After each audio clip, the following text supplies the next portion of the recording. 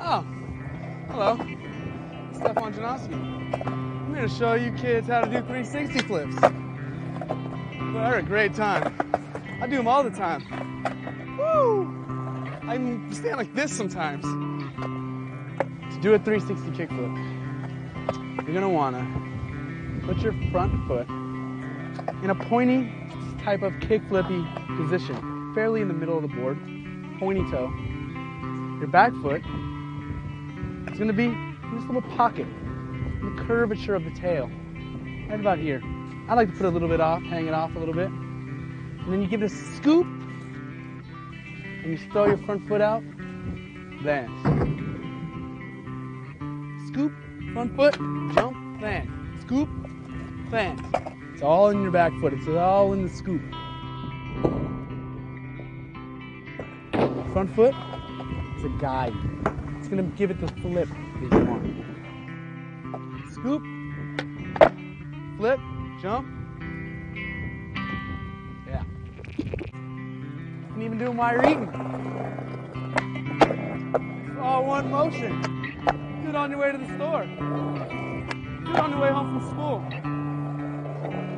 Do it during school, you know? I even like to do three shopping sometimes. Let's see, Cocoa Puffs. There they are. All right, let's go.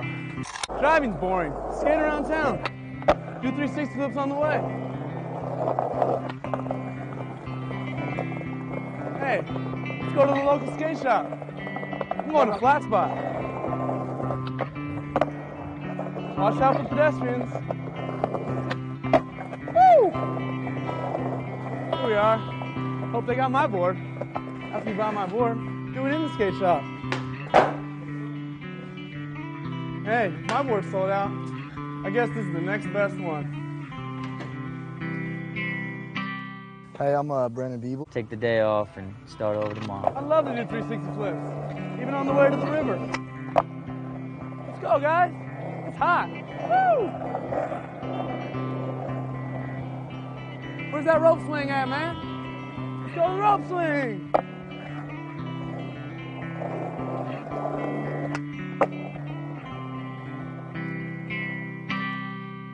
So, uh, you know, let's recap. You got your pointy toe. You got your foot in the in the pocket. There you have it. All right.